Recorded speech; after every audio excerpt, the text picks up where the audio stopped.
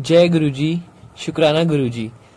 Aunty, सबसे पहले मैं आपको थैंक यू बोलना चाहूँगा। आपने मेरा बर्थडे सेलिब्रेट किया अमृत वेला सत्संग में। इस बार तो गुरुजी ने मेरे बर्थडे पे इतना ग्रैंड और बड़ा सेलिब्रेशन किया। मैंने कभी सोचा भी नहीं था। और गुरुजी की इतनी सारी ब्लेसिंग्स मुझे मिली, जिसकी कोई लिमिट भी नहीं है। आज तक गुरुजी मेरे को ब्लेसिंग ही दे जा रहे हैं। ब्लेसिंग तो गुरुजी ने उसी दिन से स्टार्ट कर, देनी स्टार्ट कर दी थी जब आपने मुझे बैसाखी के डेकोरेशन के लिए कॉल किया था कि आप आओगे? क्योंकि मम्मी चाहती थी कि मेरा बर्थडे आपके यहाँ अमृतविला सत्संग से स्टार्ट हो। बट मुझे लग रहा था कि मैं नहीं जा पाऊँगा क्योंकि उस टाइम मेरे एग्ज़ाम्स चल रहे थे। लेकिन जब आपका कॉल आया तो उससे थोड़ी देर पहले कॉलेज से ये मैसेज आया था कि जो हमारे एग्ज़ाम्स और जो प्रैक्टिकल हैं, वो हमारे सब ऑनलाइन होंगे। लेकिन फिर भी मुझे कॉलेज जाना था, क्योंकि कॉलेज वालों ने मुझे किसी अर्जेंट काम के लिए बुलाया था। तो वो काम छोटा सा ही था, जिससे मतलब मुझे टाइम मिल पाया। गुरुजी ने मतलब ऐसे अरेंजमेंट्स किए कि जिससे मैं टाइम पे आपके घर डेकोरेशन के लिए, सेवा करने के लिए आ सकता था। और तो और गुरुजी ने मेरे फेवरेट होटल में मेरी ट्रेनिंग लगवाई, जिसमें मैं चाहता था। द लीला पैलेस होटल में वो मतलब इतना अच्छा होटल है ना, उसमें आंटी जी सब चाहते हैं कि उनकी ट्रेनिंग लगे, लेकिन गुरुजी ने मतलब इतनी ब्लेसिंग्स इतनी कृपा है कि उसमें मेरा गुरुजी ने इंटरव्यू भी और ट्रेनिंग भी सब कुछ अच्छे से अरेंज करवा दिया। आंटी जी, आपको उस दिन तो याद होगा ही शाम को मैं जब डिनर लेने के लिए बाहर गया हुआ था तो उस दिन मुझे ना एक भी रिक्शा नहीं मिली थी। मैंने बहुत वेट किया रिक्शा का लेकिन मेरे को एक भी नहीं मिली। तो मैंने सोचा कि मैं चलो पैदल ही चला जाता हूँ।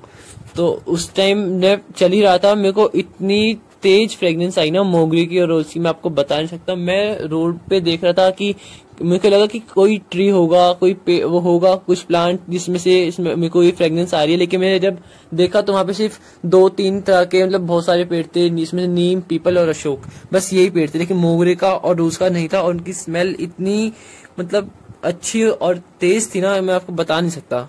एक तो मेरी वो ब्लेसिंग थी और उसके बाद नाइट में जब आपने गुरुजी वाले रूम में लाइट्स ऑफ़ कर दी थी रात को। मैं मंत्राप कर रहा था। जब तो जब आपने लाइट ऑफ़ की तो मेरे को कुछ भी नहीं दिखाई दे रहा था उस टाइम तो मंत्राप में चली रहा था, लेकिन मेरी आईज वो ओपन थी। उसके बाद जब आपने लाइट ऑफ़ कर दी थी तो मैंने आईज क्लोज कर ली थी और पूरा जब मंत्रजाप मेरा ओवर हो चुका तो मैंने आईज खोली तो पता नहीं आंटी कहाँ से कौन सी रोशनी आ रही थी, जो मेरे को पहले कुछ भी नहीं दिख रहा था, सिर्फ़ डार्क रूम था, उसमें मेरे को साफ़ साफ़ गुरु जी का स्वरूप और गुरु जी की गद्दी दिखाई दे रही थी, और मेरे को कुछ भी नहीं दिख रहा था वैसे, बस गुरु जी की गद्दी और गुरु जी का स्वरूप, मेरे को यही दिखाई दे रहे थे, और मैं गुरु जी से अरदास कर रहा था कि गुरु जी कल मेरा बर्थडे है प्लीज़ कुछ ऐसी ब्लेसिंग दीजिएगा, जो मैं हमेशा अपनी लाइफ में याद रखूँ।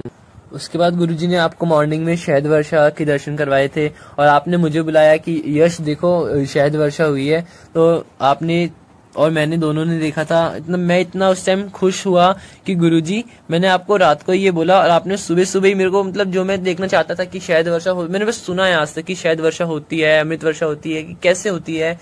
मतलब गुरुजी ने, वो भी मेरे को उस दिन दिखा दिया। और इतना अच्छा और प्यारा उस गुरु जी ने आपके यहाँ पे बैसाखी का सत्संग करवाया, मेरा बर्थडे सेलिब्रेट करवाया, हमने डांस किया और सबसे प्यारी तो आंटी आपकी वो पोएम लगी जो आपने सुनाई थी कि तुम्हें पता है तुम मेरे लिए कितने इम्पोर्टेंट हो, आपकी ये लाइंस थी इसमें पोएम में।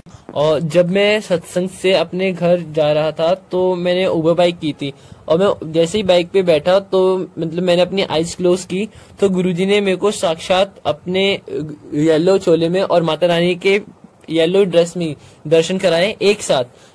साथ में माता रानी हैं और साथ ही गुरु जी हैं। और ये दर्शन गुरु जी ने मेरे को पूरे रास्ते, आंटी जी बाइक पे, मेट्रो में, उसके बाद ऑटो में, हर जगह मतलब दर्शन हुए मुझे उस दिन गुरु जी के। तो उसके बाद गुरु जी ने, चौदह अप्रैल को जो मेरे घर पे सत्संग गुरु जी ने करवाया था, उसकी डेकोरेशन करवाई, दरबार सजवाया, और इतना प्यारा आंटी सत्संग हुआ ना फोर्टीन अप्रैल को मत पूछिए आंटी मतलब इतना ब्लेसिंग थी ना उस दिन हमारे घर में इतना ऐसे थे कि संगतों के पैर आए मतलब अलग बहुत सारी संगतें आई हुई हैं उस दिन। और गुरुजी की आंटी इतनी ब्लेसिंग है कि मैं कभी भी सैड होता हूँ तो गुरुजी मिनट में उसको मिनटों में मेरे को हैप्पी कर देते हैं। उस दिन आ, जब आपने मेरे को कॉल किया था कि अंकल जी की तबीयत थोड़ी खराब हो गई आपको घर जाना पड़ेगा